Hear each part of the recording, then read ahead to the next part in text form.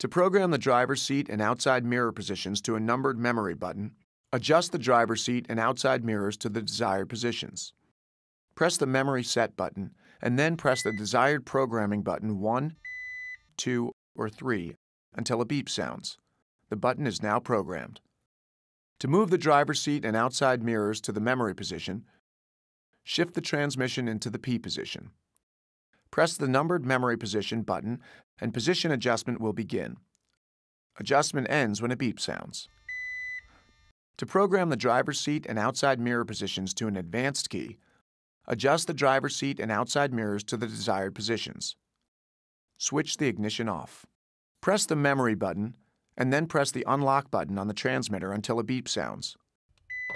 The key is now programmed. To move the driver's seat and outside mirrors to the memory position, unlock the driver's door by pressing a request switch or by pressing the unlock button on the transmitter.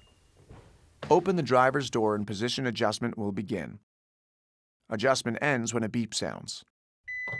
When the ignition is switched on and the transmission is shifted into the R position, the outside mirrors tilt downward, making the curb or any possible obstacles more visible when parking. Move the power door mirror selector switch to the left or right side. Shift the transmission into the R position while depressing the brake pedal. The outside mirrors tilt downward automatically.